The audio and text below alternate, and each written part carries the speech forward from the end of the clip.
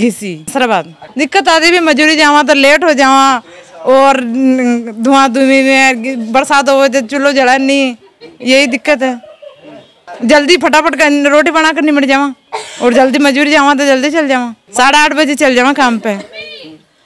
रोटी बना गैस पर। लकड़ी में तो टाइम लाग गया आटा से ऊपर ले जावा ऊपर बनावा तो टाइम लागे जला नहीं तो धुआड़ा में टाइम लागे।